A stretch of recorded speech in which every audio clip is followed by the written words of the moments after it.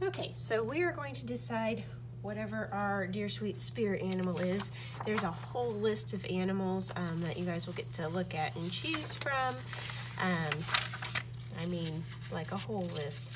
So it'll tell you um, the animal and what the meaning is behind it um, for the totem pole. So example, bird or carefree and lighthearted.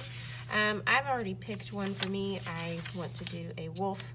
Says a wolf shows intense loyalty with a balance of independence. It sounds like me, so I'm gonna kind of go with it. Now, on the paper, there's kind of the shape of the head already drawn for you so that you can have a good starting point. You can also search whatever animal you're looking front view. So if I searched wolf front view, stick my Chromebook in here real quick. I have a whole bunch of pictures of a wolf looking straight forward um, that I can use for reference, okay? So we do want our animal to be drawn straight forward and not side from side to side because the totem poles, they all face forward. So today I'm just going to figure out what my totem pole is going to look like. So I'm going to start with a piece of paper and I'm going to sketch the shape of the head that's kind of already been given to me. It's just going to be bigger. I'm going to draw lightly until I'm kind of comfortable with it and I'm going to make sure that I'm taking up the space on my paper because I am going to need to do this large on my box that I'm using. Okay, so I've got the shape of the head here.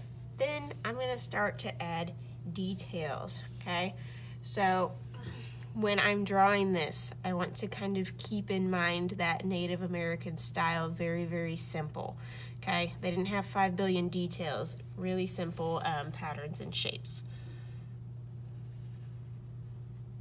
I also want to keep in mind symmetry. So whatever I do on one side, I'm also gonna do on the other. So I'm gonna kind of mimic that same shape.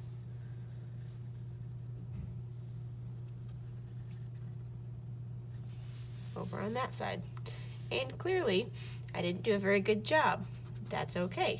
We're gonna draw lightly until we erase because it's too high. So I'm gonna come back down here and try that again. See, we all make mistakes. Nobody's going to get it perfect on the first time, but what's going to make it easier for you is if you draw lightly. Go, make those match. Okay. Remember, this is just a sketch. It does not have to be perfect. Um, when we do this on the cardboard, it will be easier to be symmetrical because we can cut things out at the same time.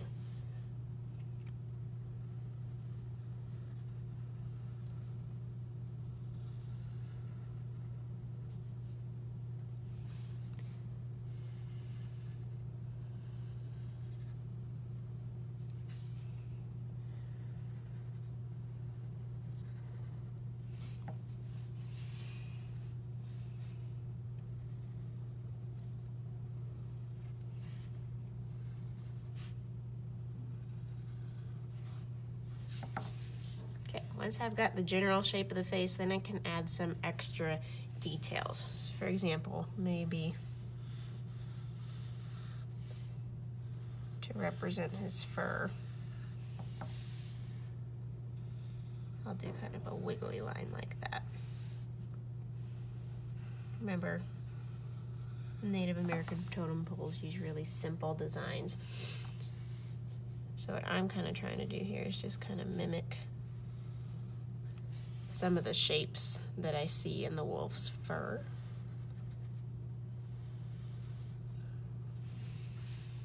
Okay. Yeah, maybe.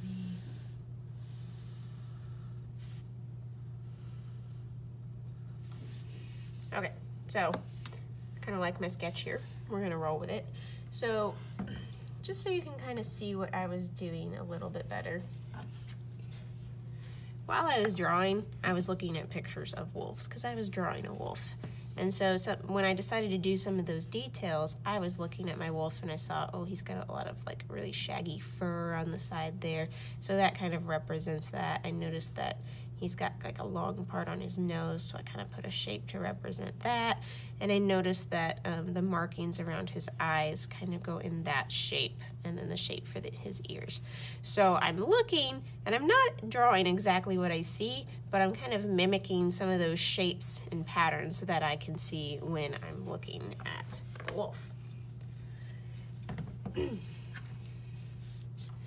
All right, so this is my sketch, so I'm gonna go with it. Um, you guys will be working on yours today. I just want you to keep in mind, you've got the shape of the head already done for you. You just need to kind of mimic that design um, with whatever animal that you choose.